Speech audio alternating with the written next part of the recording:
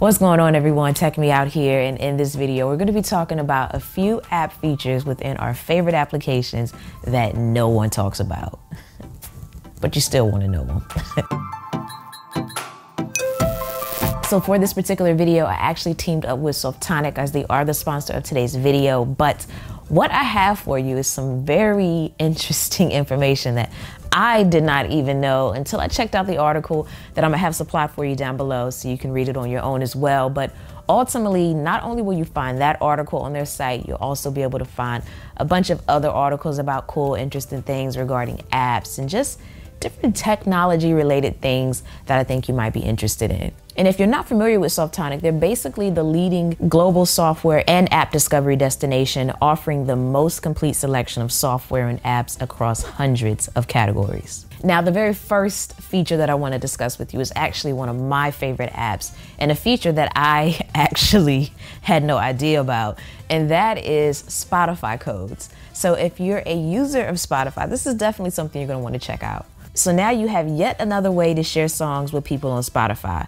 All you have to do is open the menu next to any song or album, and then you're gonna see a code that looks a little like a sound wave. If your friend on their phone then clicks on the camera icon next to the search box and scans the code, they will then instantly have the song. It's the little things like this that make a difference because I've been around people and, you know, been listening to a song and wanted to share it and, you know, use other methods to go about doing so. So it's nice to know that something like this actually exists because uh, I'm gonna be using it from here on.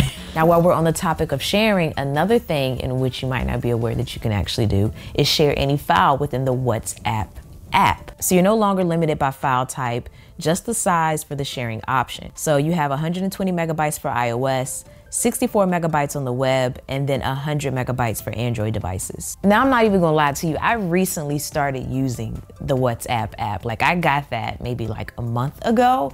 I've heard of it, never used it before, but it's little things like this that kind of make me happy that I actually started using it because that's a feature that I could definitely utilize. But I'm curious though, am I the only one that's kind of new to WhatsApp?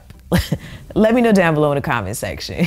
now, another app feature that no one seems to really talk about is the fact that Gmail actually replies for you. So what I mean by that is that you actually have quick replies at the bottom of your email of statements in which Gmail feels that you may want to say based upon the context of the email that you just received. Now, this has definitely saved me in those scenarios where I needed to reply to an email but I just didn't have the time in that moment to do so. Like my time was really constrained. But when I saw the auto replies, you basically tap on it, it loads up the email with the context in there so you can go ahead and send it or you can add a little bit more to it. But if for certain helps when you at least want to respond to an email, but you don't per se have enough time to actually write it out. But I'm not going to give you all the features of your favorite apps within this video. So be sure to check out that link down below to Softonic's website. And don't be surprised if you find yourself down a rabbit hole, so to speak, on Softonic's website of different articles like I found myself on their website. No shame, you know, no shame.